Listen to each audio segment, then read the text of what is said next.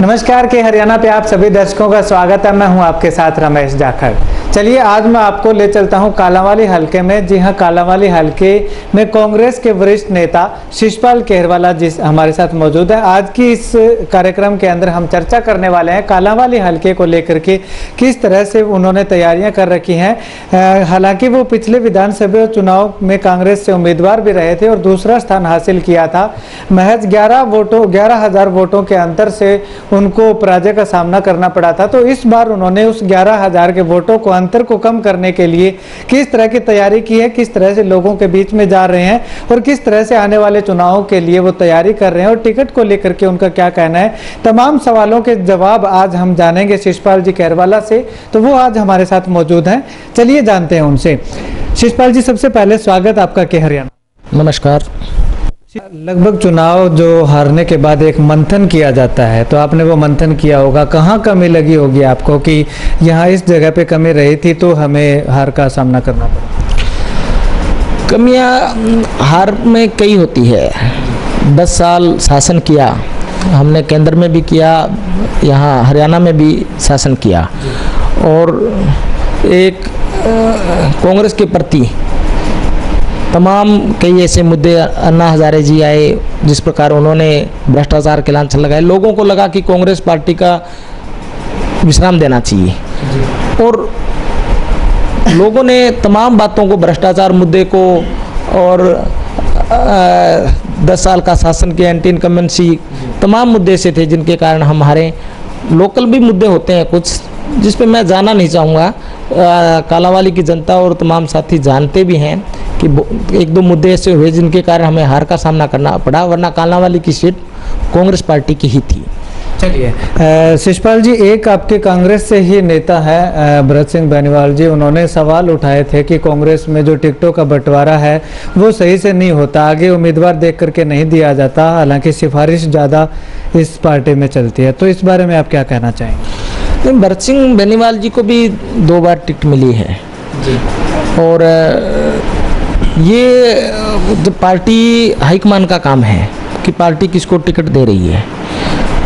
मेरे को भी मिली भरत सिंह बेनीवाल जी को भी नहीं पहले भी वहाँ कोई और कैंडिडेट था अब भी कुछ और थे।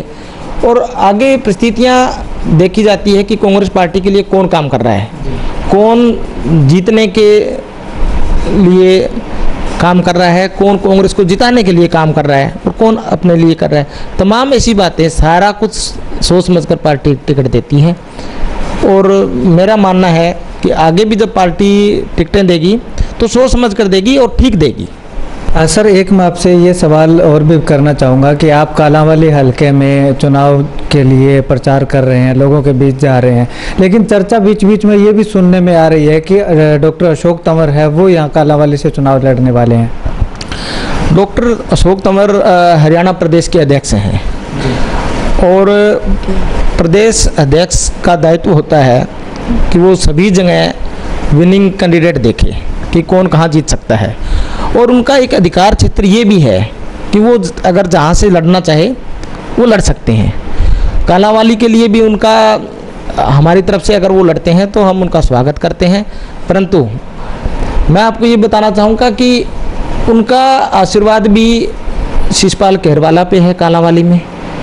और वो अगर वो चाहेंगे तो वो लड़, लड़ सकते हैं। और वो प्रदेश में कहीं से भी लड़ सकते हैं। ये उनके लिए खुला ऑफ़र है। पूरा प्रदेश उनके नेतृत्व में कांग्रेस पार्टी इतनी मज़बूत स्थिति में आज है। और जिस प्रकार से उन्होंने कांग्रेस को हरियाणा में उभार कर प्रथम श्रेणी में लाए हैं तो उनका हक है कि हरियाणा के किसी भी हिस्से में वो चुनाव लड़ें और वो निश्चित रूप से जीतेंगे और हरियाणा का जो नेतृत्व है वो करेंगे। सर, इनेलो और अकाली के गठबंधन के हिसाब से यहाँ पे कालांवाली में चुनाव लड़ा जाता था और अकाली दल का ही एमएलए यहाँ से बनता था। फ़िलहाल भी मौजूदा समय में भी अकाली दल का ही एमएलए है। तो अभी इनेलो और अकाली दोनों अलग अलग हो चुके हैं। तो क्या मानते हैं कि इसका प्रॉफिट जो है वो कांग्रेस को कहीं ना कहीं होने वाला है? प्रॉफिट दोनों तरीके से था। अगर वो इस बार गठबंधन के साथ लड़ते तो भी जनता उनको दिखाती कि आपका जो नापाक गठबंधन, दस साल जिस प्रकार कालावाली के लोगों को तबाह किया है, अब उनका बदला लेने के टाइम आया है। दूसरा, अब अगर वो अलग होकर लड़ते हैं तो मैं मानता हूँ कि उसी में भी उनको बुरी तरीके से जनता उनको सबक सिखाएगी कि पहले आप, आपका भाईचारा था, अब ऐसा क्या हो गया कि आप अब अलग होकर लड़ रहे हो? क्योंकि कालावाली की जनता का रुख स्पष्ट है। कि अकाली दल और इंडियन नेशनल लोकदल ने 10 साल कालावाली के लोगों के साथ धोखा किया है और आज जिस एसवाईएल को लेकर इंडियन नेशनल लोकदल अलग हुई है, उसको तमाम हमारे साथियों को ये पता है कि जब अकाली दल का मुख्यमंत्री श्री प्रकाश सिंह बादल जी थे, तब एक दिन भी उन्होंने ये नहीं कहा कि हमें एस का पानी चाहिए। जैसे ही वो सत्ता से जाने की उनकी तैयारी हुई, इधर से हमारे नेताओं को एसवाईएल का पानी याद आ गया। दूसरी बात जनता ये भी जानती है कि ये मामला सुप्रीम कोर्ट में है। ये किसी व्यक्ति या सत्ताधारी पार्टी के हाथ में कुछ नहीं है ये सुप्रीम कोर्ट में मामला चल रहा है। और उसका जो आदेश जिस प्रकार से भी आता है सारी सरकारें उस, उसको मान्य हैं और हमें भी मान्य हैं। तो ये जिस प्रकार का भ्रम भलाकर लोगों को गुमराह करने की कोशिश कर रहे हैं इस बार मेरा मानना है कि कालावाली की जनता गुमराह होने वाली नहीं है। सर, अभी आदेश की बात आई थी, सुप्रीम कोर्ट के आदेश की बात आई थी तो इसमें मैं एक सवाल आपसे करना चाहूँगा कि कहीं ना कहीं आपको लगता है कि जो भारतीय जनता पार्टी के जो हित में फैसला होता है माननीय सुप्रीम कोर्ट का, उसको इम्प्लीमेंट कर लिया जाता है और जो इनके हित में नहीं होता, उस पर ये अपना कानून बना देते हैं। अभी पीछे जो सुप्रीम कोर्ट ने एक ऑर्डर जारी किया था एस सी एक्ट के संबंध में। और वही मामला सुप्रीम कोर्ट ने जो ऑर्डर जारी किए थे, और एसवाईएल का मामला भी सुप्रीम कोर्ट में ही चल रहा है। तो उसको इम्प्लीमेंट कर दिया गया इसको नहीं किया गया इस पर आप क्या कहेंगे? निश्चित रूप से मैं इस बात को मानता हूँ कि भारतीय जनता पार्टी का जो शासन है ये मैं नहीं कहता जितने भी विद्वान लोग हैं देश के अंदर जो आर्थिक जो आर्थिक रूप से जो ज्ञानी हैं जो राजनीतिक रूप से जो सक्षम है वो लोग कहते हैं कि ये तानाशाही वाला शासन है। और तानाशाही वाले शासन में यही होता है कि जो शासक को अच्छा लगे वही इम्प्लीमेंट होता है। तो भारतीय जनता पार्टी के बारे में बिल्कुल यह राय बिल्कुल ठीक है। जो उनका ठीक लगता है वो चीज़ लागू होती है जो उनको ठीक नहीं लगता उस पर वो आँखें मूंद के बैठ लेते हैं। आ, सर एक सवाल ये है मेरा कि कांग्रेस में जो गुटबाजी चल रही है उससे क्या आपको लगता है कि कहीं ना कहीं कांग्रेस पार्टी को नुकसान होता है? मेरा मानना है कि कांग्रेस पार्टी में गुटबाजी नहीं है। वैचारिक मतभेद हर व्यक्ति में होते हैं। एक पार्टी के तमाम लोगों में वैचारिक मतभेद हो सकते हैं। परंतु जहाँ जहाँ तक आप कांग्रेस पार्टी की बात करेंगे, जिनको आप गुटों में बंटा हुआ देख रहे हैं, वो सभी अपने अपने हिसाब से कांग्रेस पार्टी को मज़बूत करने में लगे हुए हैं। सबका ध्येय ये है कि हरियाणा में कांग्रेस पार्टी और इस देश में कांग्रेस पार्टी कैसे आई सबका ध्यान उधर है आपने देखा होगा कि पिछले एक साल में जितनी रैलियाँ हुई है, कोई भी एक दूसरे के खिलाफ नहीं, कांग्रेस पार्टी को मज़बूत करने के लिए काम में लगे हुए हैं। कहीं भी कोई गुटबाजी नहीं है। हाँ ठीक है, कहीं, कई बार वैचारिक मतभेद दो व्यक्तियों के हो सकते हैं, परंतु यहाँ हरियाणा में सभी कांग्रेस जन एक हैं और जब चुनाव होगा, तब आप देखेंगे सभी एक मंच पे कांग्रेस पार्टी की और हरियाणा की जनता की लड़ाई हम इकट्ठे होकर लड़ेंगे। आने वाले चुनाव में कालावाली हल्के की कांग्रेस पार्टी क्या कहती है? कालावाली हल्के की कांग्रेस पार्टी का यही है कि हमने कालावाली के साथ साथ हरियाणा हरियाणा के सभी और जो सिरसा ज़िले की आसपास की सीटें हैं, इनमें भी हम कांग्रेस पार्टी को जिताने का काम करें।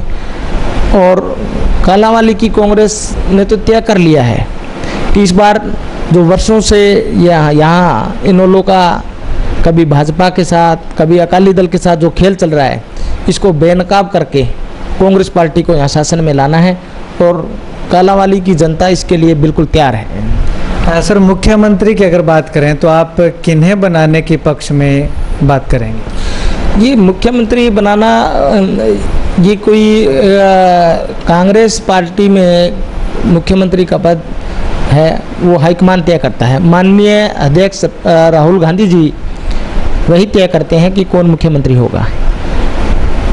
और जो काम करता है, निश्चित रूप से आपको पता है, जो ज़्यादा काम कर रहा है, वही मुख्यमंत्री बनेगा। चलिए।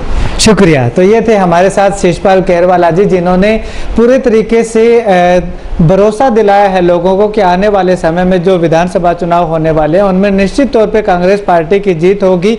और अकेली कालावाली हल्का ये नहीं, बल्कि सिरसा हल्के सिरसा ज़िले की जितनी भी सीटें हैं पाँच की पाँच सीटों पर कांग्रेस पार्टी इस बार अपनी जीत दर्ज करके हरियाणा सरकार में पाँच एमएलए देने का काम करेगी। तो ऐसे में मुद्दों की बात कही कि अनेकों मुद्दे ऐसे हैं जो कालांवाली हलके में लेकर के वो लोगों के बीच जाएँगे। और इनेलो और अकाली दल के गठबंधन की बात इन्होंने कही कि किस प्रकार से इन्होंने 10 सालों से लगातार जनता को गुमराह करके अपना विधायक यहाँ से बना करके भेजा। हालाँकि कालांवाली हलके का विकास अब तक भी नहीं हो पाया है। तो ऐसे में इनका दावा है कि आने वाले समय में जब कांग्रेस पार्टी की सरकार बनेगी और कालावाली हलके से कांग्रेस पार्टी का विधायक होगा, यानी कि शिषपाल केरवाला जी खुद विधायक होंगे तो उन पाँच सालों के बाद कालावाली हलके की दशा और दिशा दोनों बदल दी जाएगी। खैर, ये तो आने वाला वक्त ही बताएगा कि जनता क्या तय करती है। जनता के हाथ में है कि आखिर आने वाले समय में वो किसे अपना विधायक चुनती है। लेकिन वायदे और मंसूबे इनके खरे दिखाई दे रहे हैं। कैमरा सहयोगी मुकेश बेनीवाल के साथ रमेश जाखड़ के हरियाणा।